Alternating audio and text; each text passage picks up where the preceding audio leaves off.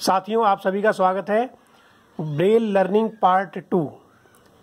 आज का हमारा विषय है, और जैसा कि मैं आपको पहले बता चुका हूँ, ब्रेल लर्निंग पार्ट वन में छह बिंदुओं के बारे में जो मैंने कॉन्सेप्ट दिया था आपको, अवश्य ही पसंद आया होगा और समझ में भी आया होगा।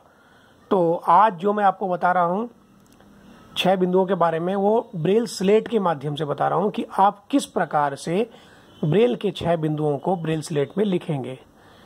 और साथ ही इस वीडियो में कुछ ऐसी टेक्निक बताई जाएँगी, जिसके माध्यम से आप सही तरीके से ब्रेल स्लेट में छह डॉट्स लिखेंगे। तो शुरू करते हैं वीडियो। ये आपके सामने स्लेट है और मैंने स्टाइलस भी ली हुई है। ये देखिए, मैं सिक्स डॉट का प्रयोग कर रहा हूँ। मेरे मेरे राइट हैंड में स्टाइलस है। और स्टाइलस यानी ब्रेल पेंसिल जिसको बोलते हैं, ब्रेल कलम। तो शुरू करते हैं।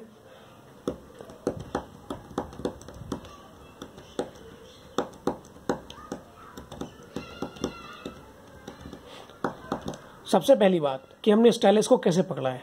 स्टाइलस को पकड़ने का तरीका होता है, सबसे पहले आप अपनी जो इंडेक्स फिंगर है उसको ऊपर रख लेंगे और मिडिल फिंगर और उसके बगल वाली यानी रिंग फिंगर उन दोनों को एक साथ रखेंगे और एक साइड में आप थम रखेंगे। ये भी एक तरीका है। या फिर आप स्टाइलस को ग्रिप में पकड़ सकते हैं। किसी प्रकार का प्रतिबंध नहीं है आपके ऊपर कि आप स्टाइलस को कैसे पकड़ें। जैसे आपको आसान लगता हो, आप इन दोनों तरीकों में से कोई सा भी तरीका अपना सकते हैं। और अब मैं आपको फिर से लिख के दिखाता हूँ।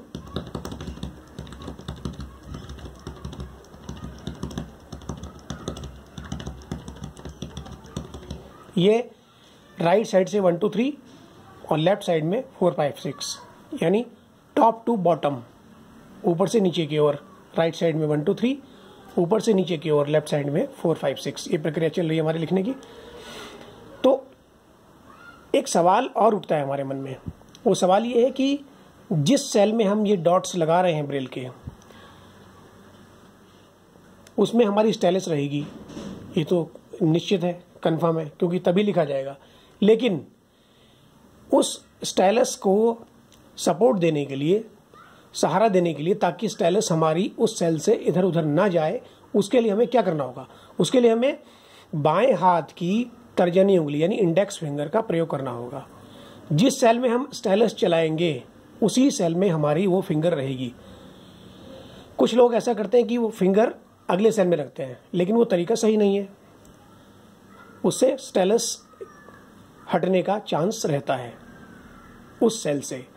तो जिस सेल में हमारी स्टेलस रहेगी, उसी सेल में हम अपनी इंडेक्स फिंगर रखेंगे लेफ़्ट हैंड की। राइट हैंड से स्टेलस पकड़ रहे हैं, पेंसिल पकड़ रहे हैं ब्रेल वाली, और लेफ़्ट हैंड से, लेफ़्ट हैंड की इंडेक्स फिंगर से हम उसको कवर कर रहे हैं कि हमारी स्टेलस कहाँ चल रही है। तो अब फिर से देखिए आप।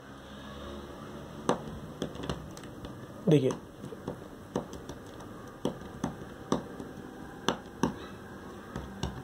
मैं ग्रिप में ज़्यादा पकड़ता हूँ स्टेलस को तो ग्रिप के माध्यम से ही मैं ज़्यादा लिखना पसंद करता हूँ।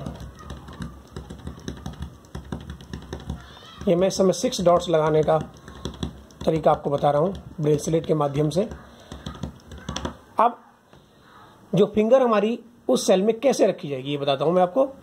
यदि आप डॉट वन प्रेस करेंगे, जैसे कि आपको मैं नीचे फिर से बताया था एक बार, जैसे हम डॉट वन प्रेस करेंगे तो हमारी उंगली होगी dot two three five six पे।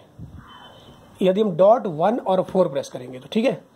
यदि हम डॉट टू प्रेस करेंगे तो उंगली हमारी थोड़ी सी और नीचे चली जाएगी।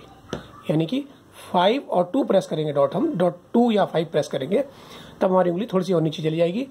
यदि हम डॉट थ्री और सिक्स प्रेस करेंगे तो हमारी उंगली जो रो है हमारी उसके बॉर्डर में चली जाएगी।